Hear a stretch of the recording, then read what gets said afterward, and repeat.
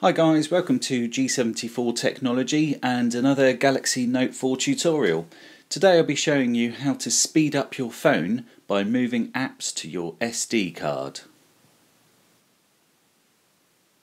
So let's start by pulling down the top menu and then selecting the settings. Okay, if we pan down to the bottom and go to Application Management, here we are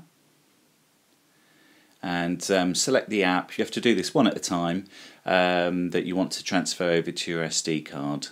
So we do this one and then move to SD card. Once you've moved all of the apps across to your SD card, um, like myself, you will note that your phone's running a lot faster. Um, it's probably because it's releasing enough memory for it to use to process other things. Um, now I'm quite happy with the way my phone's running. Anyway, hope you enjoyed the tutorial. It's free to subscribe, so subscribe.